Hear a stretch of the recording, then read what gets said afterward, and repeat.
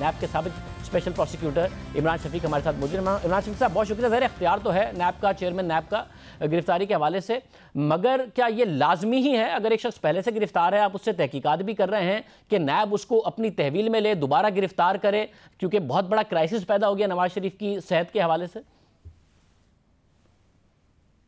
دیکھیں خانزادہ صاحب، اس میں اس میں تو کوئی شک نہیں ہے کہ چیئرمین نیب کا اختیار ہے کسی کو بھی انویسٹیگیشن اور انکوائری کے درمیان اریسٹ کرنے کا۔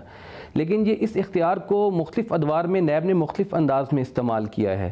نیب کا ایک دور ایسا بھی تھا کہ جس میں انویسٹیگیشنز ہوا کرتی تھی انکوائریز ہوا کرتی تھیں، لیکن لوگوں کو اریسٹ نہیں کیا جاتا تھا۔ اور اس کی، اسی کی بنیاد پر انویسٹیگیشن کی بنیاد پر لوگوں کے خلاف ریفرنس بھی دائر کیے جاتے تھے۔ ایون آپ کو یاد ہوگا پناما کیسز میں میں میاں نواز شریف صاحب کو بھی پہلے اریسٹ نہیں کیا گیا تھا، مریم نواز صاحبہ کو بھی اریسٹ نہیں کیا گیا تھا۔ اسی طرح ابھی وفاقی ڈاکٹر بابر اوان صاحب کو بھی ان کا بھی کیس تھا اور وہ اب اس کیس میں الٹیمیٹلی بری بھی ہو گئے، تو ان کے ریفرنس پہ بھی ان کو اریسٹ نہیں کیا گیا۔ تو یہ پریسیڈنٹ تو موجود ہے نیب کے، اسی طرح یوسف زدہ گلانی صاحب کا کیس ہے، ان کو بھی اریسٹ نہیں کیا گیا تھا۔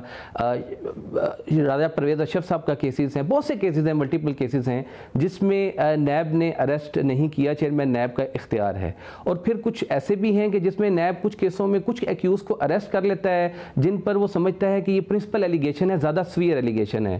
اور باقی کی حد تک وہ ان کو اریسٹ نہیں کرتا۔ تو لیکن اس کیس میں چونکہ ایکیوز آلریڈی ویسے جیل میں تھا، اور اریسٹ کرنے کا مقصد یہ ہوتا ہے اس کے پیچھے ریشنیل دیکھنا ہوتا ہے۔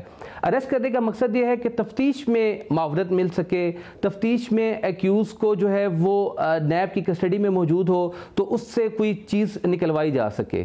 لیکن اب جہاں تک یہ کیس ہے، اس میں تو میاں نواز شریف صاحب پہلے ہی جیل میں موجود تھے اور جیل کے اندر ان سے دو تین بار نیب نے تفتیش بھی کی اور وہ تفتیش کے ساتھ ایسا کوئی ایلیگیشن بھی نہیں تھا کہ وہ تفتیش کے ساتھ تعاون نہیں کر رہے۔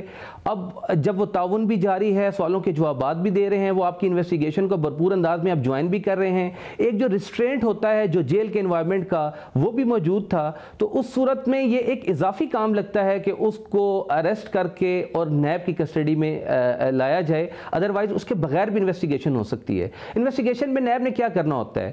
کچھ ڈاکومنٹس ہوتے ہیں جو نیب کے پاس ہوتے ہیں جن کو کنفرنٹ کروانا ہوتا ہے۔ کچھ بیانات ہوتے ہیں وٹنسز کے جن کو کنفرنٹ کروانا ہوتا ہے، جس کی ایکیوز سے ایکسپلینیشن لینی ہوتی ہے۔ اور اس طرح کے دیگر امور سر انجام دینے ہوتے ہیں۔ ہاں اگر کوئی ریکوری کرنی ہو، کوئی پیسے کی، تو وہ اس کے لیے یقیناً ایکیوز کو اریسٹ کیا جانا نیب کے لیے بسا اوقات ضروری ہو جاتا ہے۔ لیکن ادروائز جو انویسٹیگیشن کا جو پروسیس ہے، جو قانون نے دیا ہے، اس میں تفتیشی افسر کی نیب کے اندر بھی اور نیب سے ہٹ کے بھی باقی کیسوں میں بھی اس کی ڈسکریشن ہے۔ اگر وہ کسی کو اریسٹ نہیں کرنا چاہتا، وہ اس کی ضرورت محسوس نہیں کرتا اور اس کے بغیر انویسٹیگیشن ہو رہی ہے، تو اس کو اریسٹ کرنے کی ضرورت نہیں ہوتی۔ قانون نے ایسی کوئی قدغن عائد نہیں کی کہ آپ لازمی کسی کیس میں کسی کو اریسٹ کریں۔ بہت شکریہ سابق ڈپٹی پروسیکیوٹر ہمیں اس حوالے سے تفصیلات بتا رہے تھے۔